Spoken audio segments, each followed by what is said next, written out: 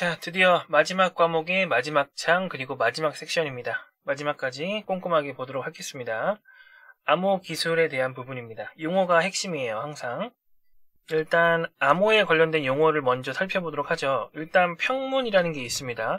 일반적인 문장으로 암호화 대상, 암호화 하기 전 문장이라고 보시면 됩니다. 이 평문을 암호화를 적용하면 암호문이 되는 거라고 보시면 됩니다. 그래서 암호화는 평문을 암호문으로 바꾸는 과정이고요. 그 반대 과정을 복호화, 복구한다고 표현하죠. 그래서 그 복호화라고 보시면 돼요. 다음에 키라는 부분은 우리 자물쇠의 키랑 같은 개념이라고 보시면 돼요.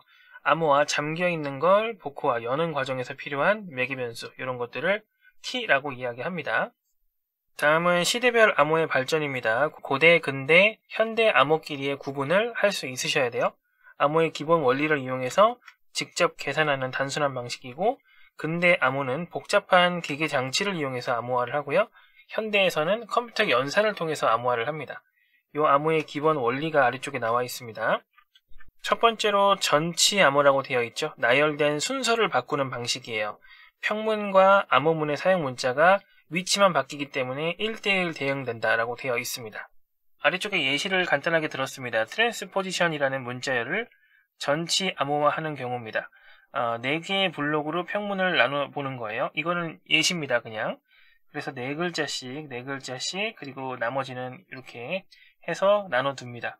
그 다음에 원래는 1, 2, 3, 4의 순서인데 1, 3, 4, 2의 순서로 위치를 바꿔보는 거예요.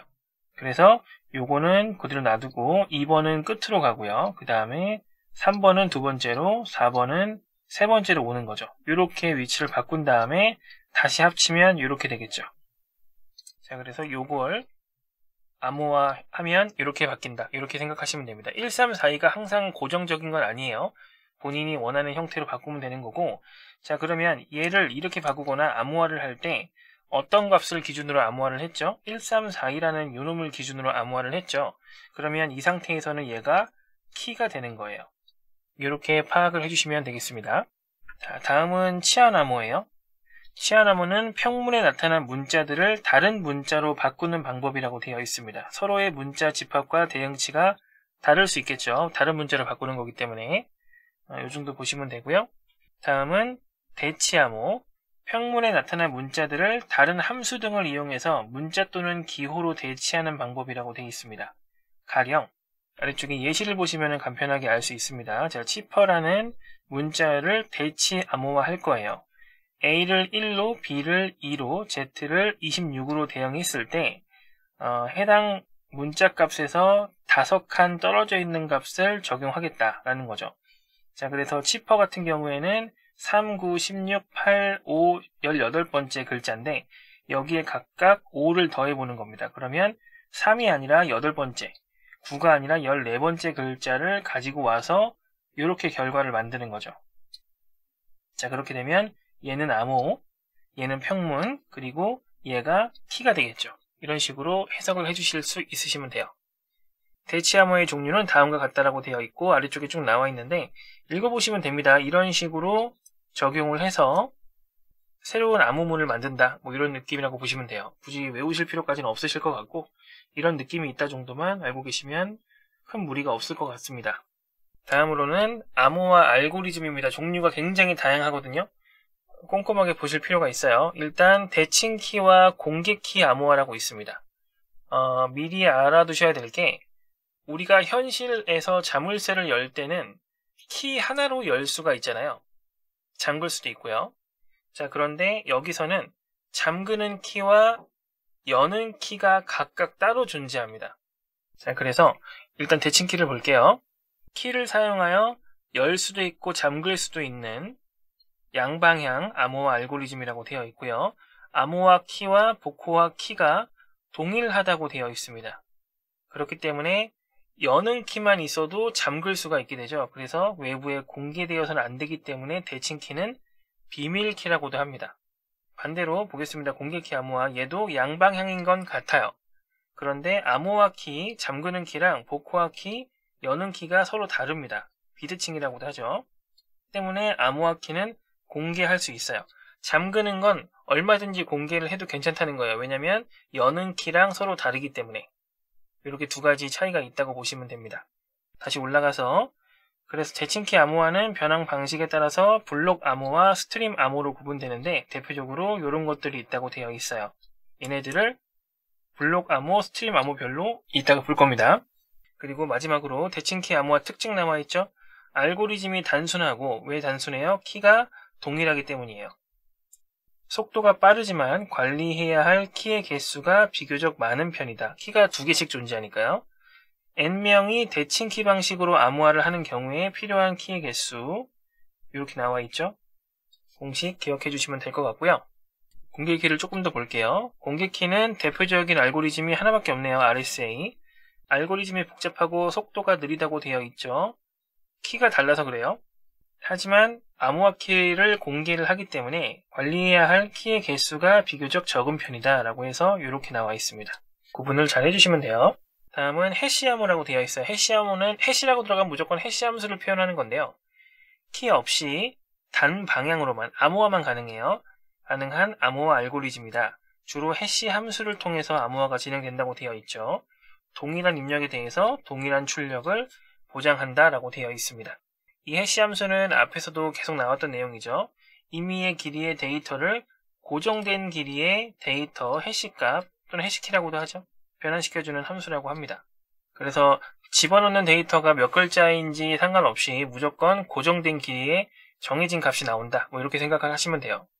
그래서 salt라는 게 여기에 반영이 되는데 같은 입력에 대해서 다른 출력을 얻기 위해서는 원본 데이터에 별도의 추가 입력이 필요합니다. 그래서 추가적으로 무작위 문자열을 원본 문자열에 갖다 붙일 수가 있는데 이거를 솔트라고 표현을 합니다.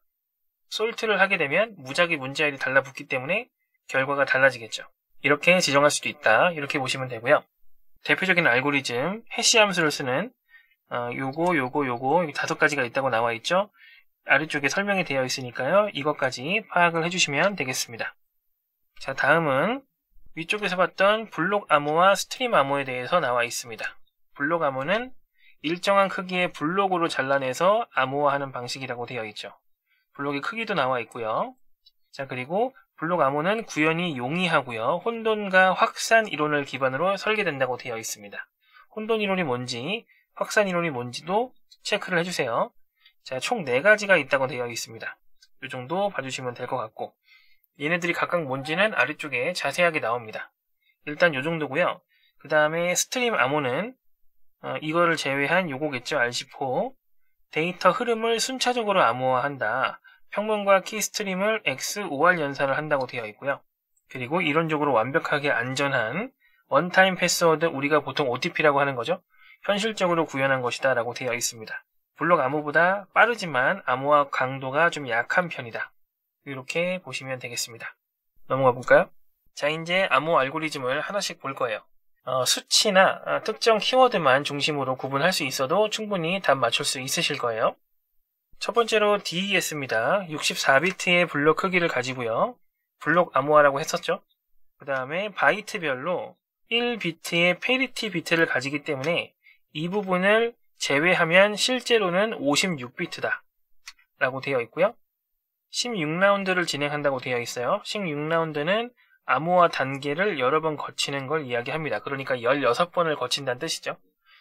DES를 3중으로 해서 보안성을 강화한 3DES 알고리즘도 존재하지만 최근엔 둘 다 사용을 하지 않는 편이에요. 최근 컴퓨터로는 DES 같은 경우에 쉽게 뚫을 수가 있습니다.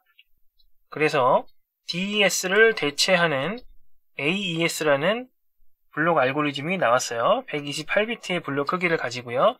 가변 길이의 키를 가집니다. 키의 길이에 따라서 10, 12, 14라운드를 진행을 하고요. 자, 그 다음 마찬가지 DES를 대체하기 위해서 스위스에서 개발을 한 겁니다. 여기 위쪽에서는 미국이 개발했다고 되어 있어요. 국제 표준 데이터 암호화 알고리즘으로 64비트의 블록 크기를 가진다고 되어 있고요. 키 길이는 128비트, 8라운드를 진행합니다. 라운드가 다르죠. 구분하실 수 있으셔야 되고요. 다음은 SEED입니다. 한국에서 개발한 거예요. 국내 순수 기술로 개발했다. 블록 크기 여전히 있죠. 128비트고요. 키 길이가 128비트예요. 그리고 16라운드를 진행한다고 되어 있죠. 요게 ARIA가 나오기 이전 국내 표준이라고 되어 있습니다. 그러니까 여기서 이렇게 발전을 한 거겠죠? 그래서 여기서는 128비트의 블록 크기를 가진다고 되어 있고요. 키 길이에 따라서 라운드를 진행한다 라는 것까지 봐주시면 되겠습니다. 다음은 RC5네요. 다양한 크기의 키 블록 라운드를 가질 수 있는 블록 암호화 알고리즘이라고 되어 있고요. 아래쪽에 이 정도까지는 굳이 보실 필요가 없으실 것 같아요. 이런 것들이 있다 정도까지 보고 넘기면 되겠습니다.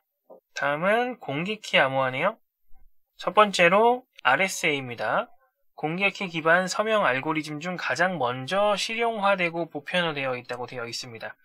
소인수 분해가 어렵다는 점을 이용해서 적용을 한 알고리즘이고요. SSL이나 공동인증서 등에 활용이 되고 있는 알고리즘입니다. 최근에도 많이 사용을 하고 있고요.